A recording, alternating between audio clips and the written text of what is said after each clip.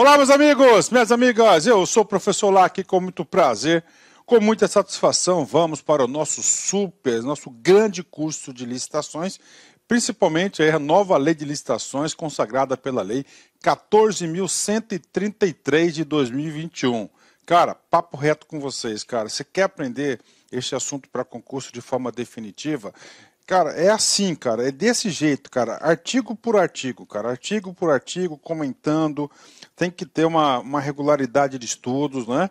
É, são várias aulas, são dezenas de aulas aí para o nosso curso de licitação, então eu sugiro, convido você a estar tá estudando aí, todo dia vai lá, assiste um vídeo, coloca no módulo rápido, cara, no módulo rápido, um, dois vídeos, um, dois vídeos, que logo, logo você consegue encerrar esse assunto. Depois que você tiver uma noção grande, né, da, da lei de cabo a rabo, cara, pronto, cara, é só exercícios, cara, exercícios e fazer revisão e, claro, fazendo as suas anotações no caderninho. Então, lá, princípios, né?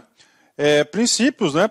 Tivemos muitas alterações em relação a 8.666. Só para vocês terem uma ideia, nós temos 13 novos princípios, né? Nós temos aí 13 novos princípios, é, 13 novos princípios é, que a lei trouxe, né, para para a gente aqui, ó, novos princípios, né? Por exemplo, né, ó, do interesse público, do planejamento, da transparência, da eficácia, da segregação de funções, inclusive é o princípio que está sendo mais cobrado da segregação das funções, motivação, segurança jurídica, razoabilidade, é, competitividade, proporcionalidade, celeridade, economicidade e desenvolvimento nacional sustentável. Então, esses três princípios foram princípios inovadores que a nova lei de licitação trouxe. E aí, professor, cara, vamos lá, caderninho, coloca aí aula de princípios, né? Que colocar o seguinte: a nova lei, primeiro asterisco, né? Acrescentou 13 novos princípios à lei de licitações né, e contratos administrativos. Então tem que saber, cara. Né? Aí o que, que acontece? Você tem que saber esse cara aí, porque pode ter uma questão num comando seguinte. Dentro das opções abaixo, informe um princípio inovador trazido pela lei 14.133. Ponto, tá lá, você vai ter que saber.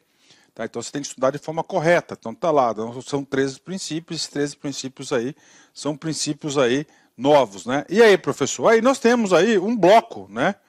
Que eu chamo de primeiro bloco, que é o LIMP, né? É o bloco aqui, ó, o LIMP, né? Esse bloco do LIMP aqui é o, claro, é o caput do artigo 37 da Constituição da República Federativa do Brasil, né? Então, ó, na aplicação desta lei, serão observados os princípios, ó, legalidade, impessoalidade, moralidade, publicidade e eficiência. Né? Então, o primeiro bloco, bloco, né? Então, esses aí são princípios da administração pública como um todo, né?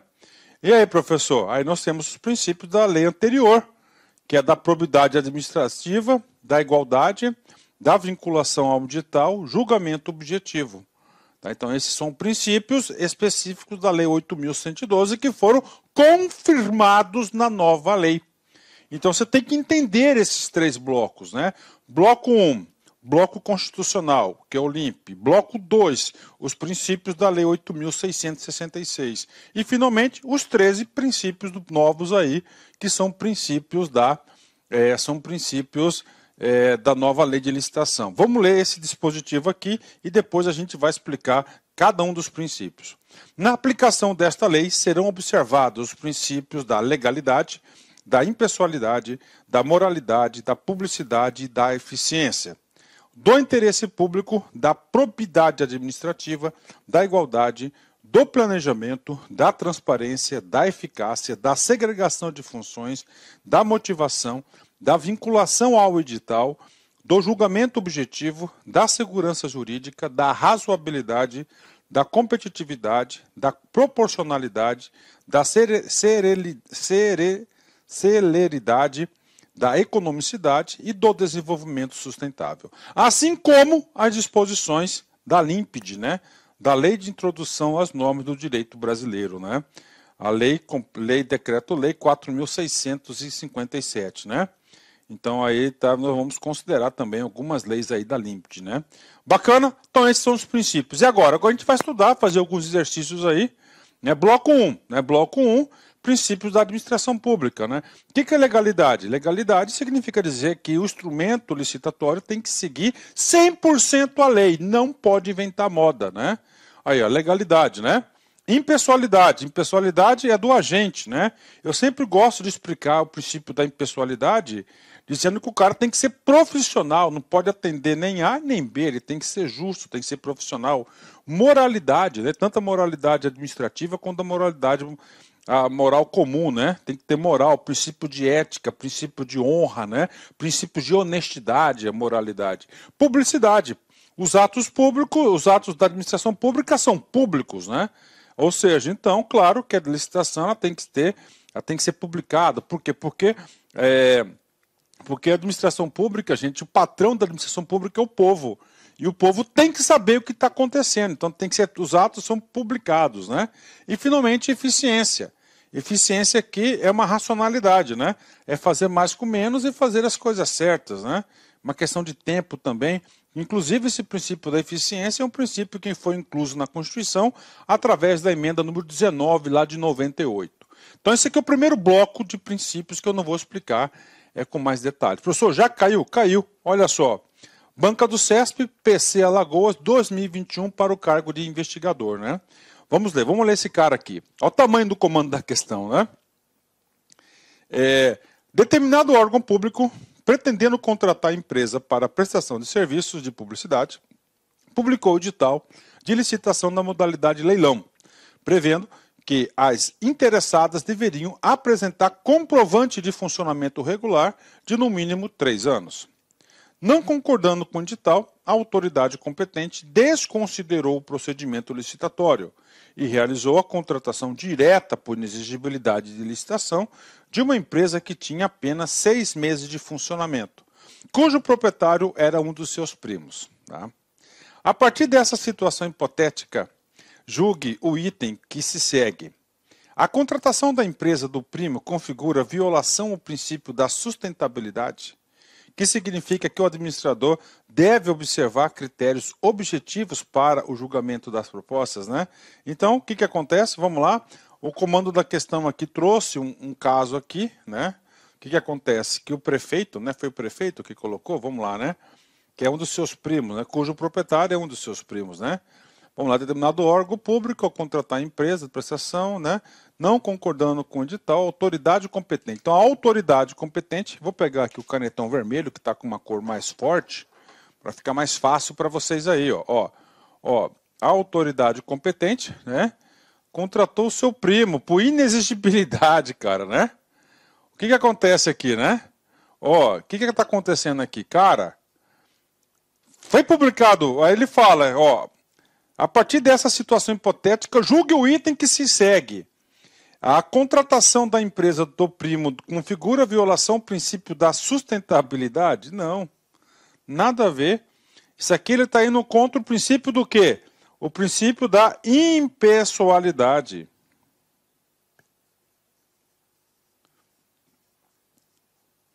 O que, que acontece? A decisão da autoridade competente foi pessoal. Tá? pessoal, entendeu? Contratou lá por inexigibilidade, né? houve uma inexigibilidade, uma das formas aí de dispensa de licitação, a contratação do seu primo, né? Logo, a alternativa está errada, né? Então você tem que entender os princípios, né?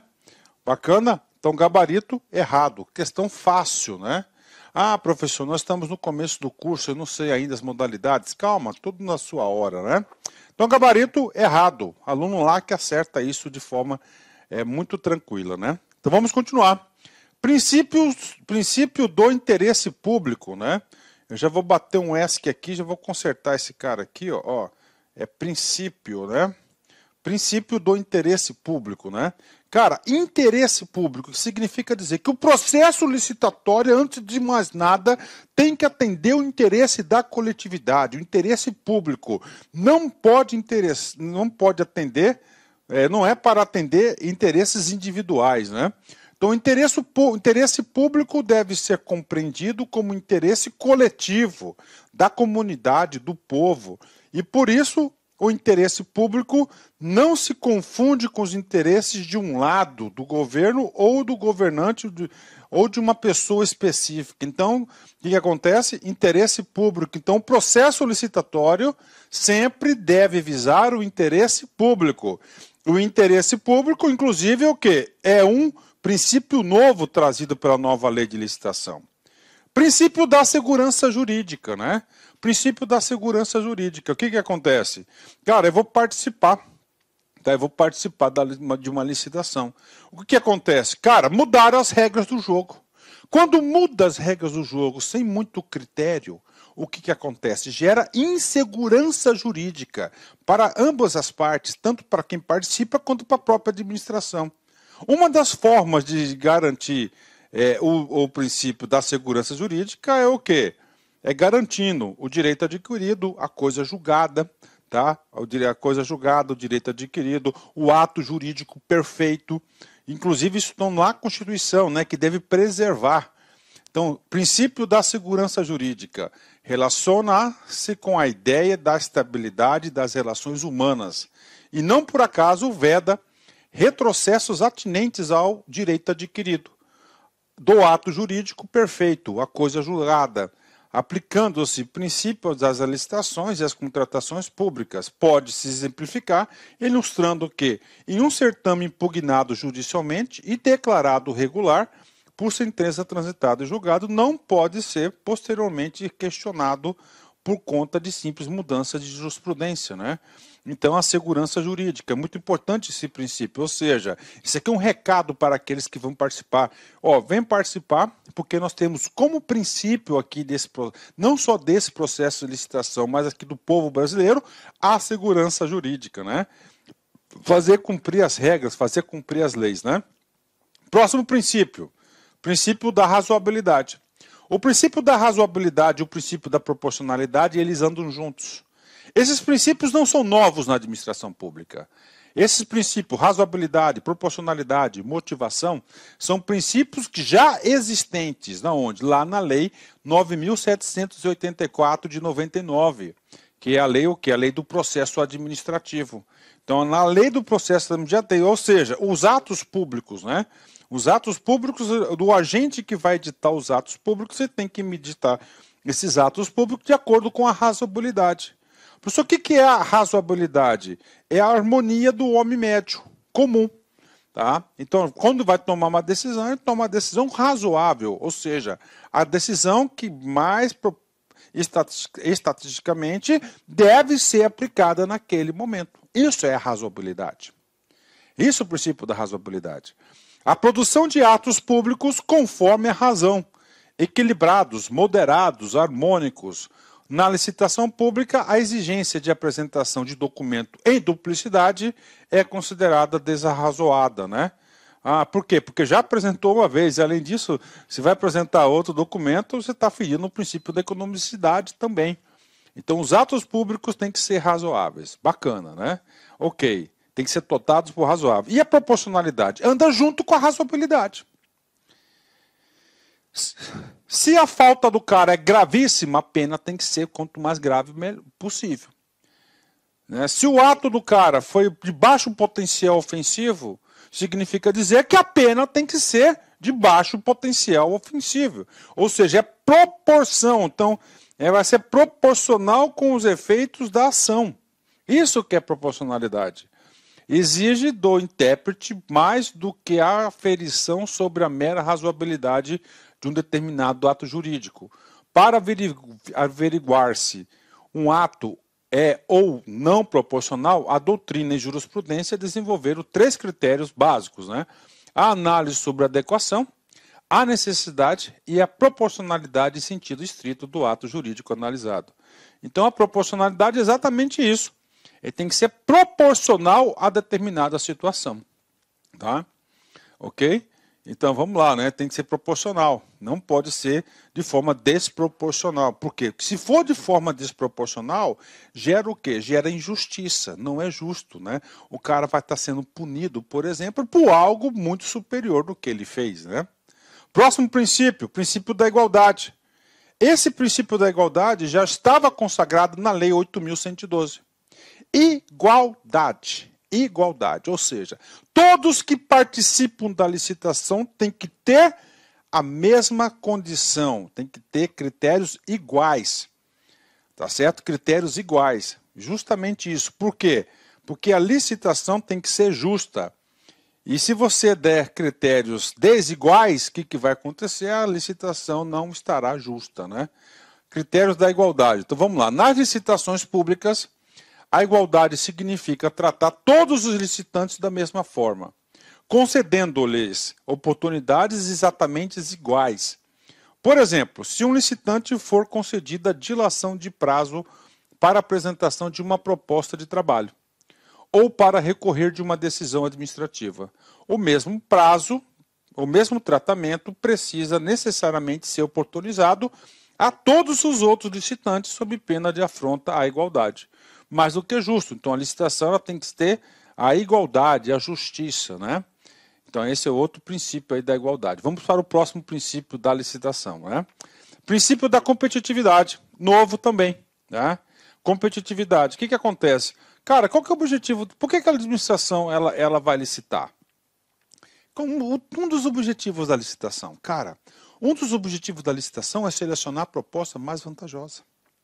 E como que ela vai, ela vai conseguir selecionar a proposta mais vantajosa?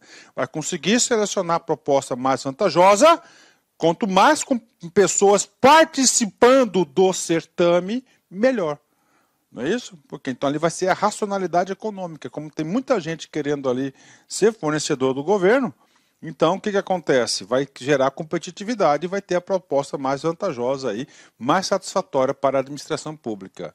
É a própria natureza das, das, das licitações públicas, que é a seleção da proposta mais vantajosa para a administração pública.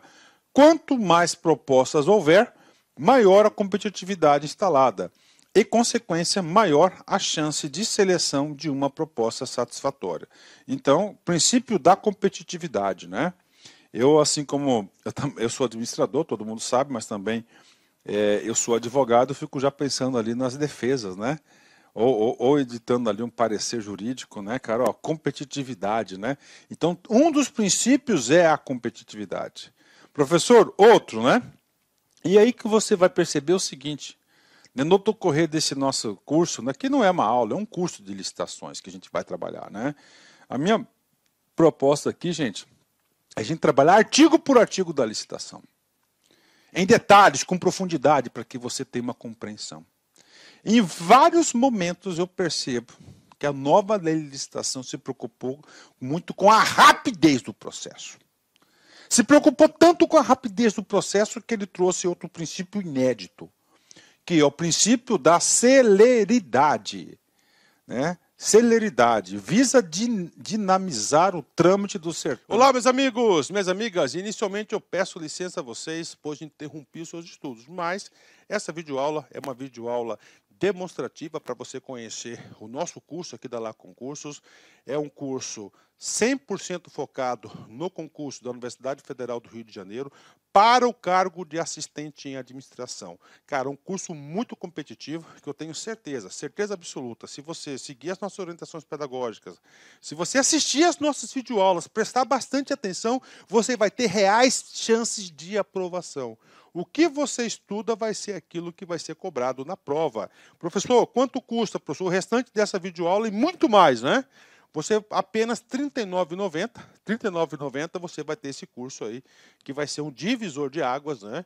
Para o cargo de assistente em administração, de acordo com o edital 491. Dá tempo estudar? Sim curso 100% EAD, nós temos uma metodologia, o nosso site não joga somente as aulas para vocês, nós orientamos que os alunos estudam via o Personal Coach, que é o cronograma na qual eu produzo esse cronograma para vocês, pessoalmente, eu faço aqui o pedagógico da La Concurso para fazer a diferença. Bacana? Gostou? Tem um link aqui embaixo, clique nesse link, venha estudar com a gente para o concurso da Universidade Federal do Rio de Janeiro. Forte abraço, fique com Deus, tchau, tchau.